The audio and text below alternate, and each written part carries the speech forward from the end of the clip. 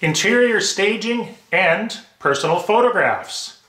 This is something I keep reading about and I see videos on, and it basically says if your house is for sale, remove all your personal family photos. Now, I don't agree or disagree with this, but the psychology behind it makes sense.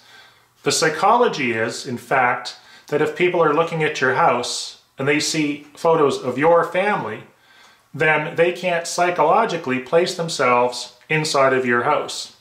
So, I guess what's to be learned from this information is it can't hurt, remove your family photos, have a better chance of selling your house, and maybe those people will be able to place themselves in that house a lot easier.